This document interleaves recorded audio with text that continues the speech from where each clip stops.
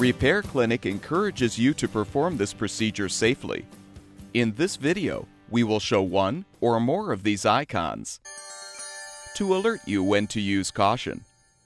Before you begin this repair, make sure the engine has cooled.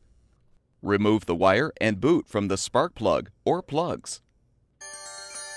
Then disconnect the cables from the battery, black first, then red.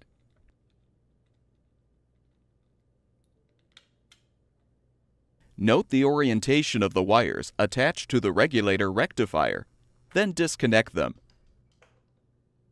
Next, use a socket to remove the screws securing the old regulator rectifier. And pull it off.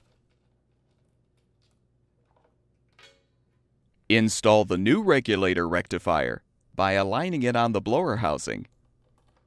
Reattach the grounding wire if applicable to your model as you secure the screws. Reconnect the wires.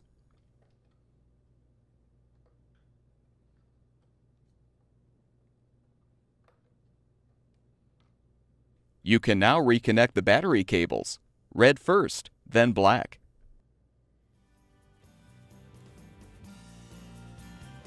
Finally, reattach the wire and boot to the spark plug or plugs.